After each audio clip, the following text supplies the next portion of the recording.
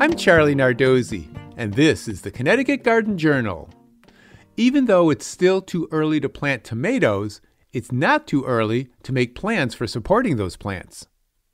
If you're growing the dwarf patio tomatoes, then little support is needed as these plants only grow a few feet tall. But for determinate varieties such as celebrity and indeterminate varieties such as most heirloom tomatoes and cherry tomatoes, you'll need a hefty support structure. Large tomato plants will flop down, making the leaves more susceptible to diseases and fruits more likely to rot or be eaten by animals. One traditional method is to stake the plants. This works fine on determinate varieties that stand less than 4 feet tall. But you'll need to remove suckers and use Velcro brand plant ties to attach the main stem to the stake to keep the plants manageable. For larger indeterminate varieties that can grow 6 feet tall and very bushy, a cage or trellis system is best.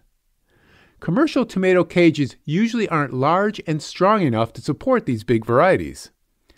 It's best to make a wire cage from 6 foot tall deer fencing using a sturdy 7 foot tall stake attached to help hold the cage upright and stake the cage with tent stakes.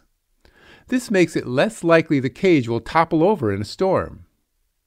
You can also create a teepee system with A-frame supports on either side of the row, a horizontal pole attached across anchored to the A-frames, and string hung down from the horizontal pole attached to the tomato branches, keeping them vertical.